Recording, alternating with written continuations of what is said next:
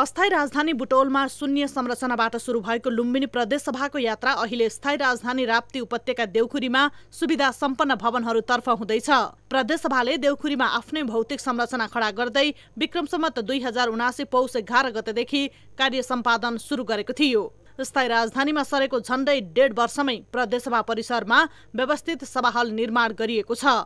लुम्बिनी प्रदेशको मौलिकतालाई झल्काउने सभा नेपालमै नमुना प्रदेश सभाहरूको रूपमा समेत रहन गएको छ। त्यस्तै प्रदेशसभामा पाँच हजार भन्दा बढी विभिन्न विषयका पुस्तकहरू संग्रहित ई लाइब्रेरी तथा संवाद केन्द्र स्थापित भइसकेको छ भने सुविधा सम्पन्न छुट्टै पुस्तकालय भवन पनि निर्माणाधीन अवस्थामा छ। भ्याट समेत गरेर सडचालिस करोड सत्र लाख छब्बिस हजार रुपियाँ लागतमा तलका संसदीय दलका कार्यालय तीन तले विषयगत समितिका भवन एउटा पुस्तकालय र एक चमेना गृह निर्माण काम सम्झौता भएर काम सुरु भएको छ। सहरी विकास मन्त्रालय अन्तर्गत राजधानी कार्यान्वयन इकाइको कार्यालय राप्ती उपत्यका देउखुरीले यी संरचना निर्माणको काम गरिरहेको लुम्बिनी प्रदेशसभा सचिवालयले जनाएको छ। प्रदेशसभा परिसरभित्र यो निर्माणको कामहरूको कुरा गर्दा यो प्रदेश पूर्वाधार प्राधिकरण विकास प्राधिकरणबाट यो सौन्दर्यकरणको काम भइरहेको छ। त्यसै गरी यहाँ चाहिँ सहरी विकास आयोजनाबाट विषयगत समिति भवन संसद दलका कार्यालयहरू र पुस्तकालय भवनहरूको चाहिँ निर्माण कार्य चाहिँ भइरहेको छ।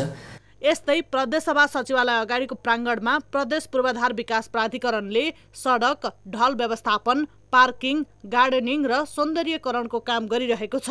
प्रदेशसभा परिसरमा तीन करोड सत्ताइस लाख लागतमा साठी बढी चार पाङ्रे सवारी साधन दुई सय बढी दुई पाङ्रे सवारी साधन राख्न मिल्ने गरी पार्किङको काम भइरहेको प्रदेश पूर्वाधार विकास प्राधिकरणले जनाएको छ। अहिले त्यसको बाहिरपट्टि प्रदेश सचिवालय र प्रदेश सभाको बाहिरपट्टि बिचको भागलाई पार्क गार्डनिङ र ब्युटिफिकेसन गर्ने कामहरू गरिरहेको छौँ अहिले। त्यसमा त्यसमा पार्किङमा झन्डै सय जति चार पाङ्री सानो गाडीहरू दुई सय जति दुई पाङ्री गाडीहरूको चाहिँ भेहिकलहरूको व्यवस्थित तरिकाले पार्किङ गर्न सक्ने गरी बनाएका छौँ। र कहिलेकाहीँ प्रोग्राम गर्न पऱ्यो इमर्जेन्सी रूपमा चाहिँ त्यसलाई प्रोग्राम गर्ने कार्यक्रम थलोको रूपमा पनि विकास गर्न सकिन्छ। लुम्बिनी प्रदेश सरकार राजधानी र प्रदेश सभाको ढललाई ढोलही खोलामा व्यवस्थापन गर्ने योजना बनाइएको छ।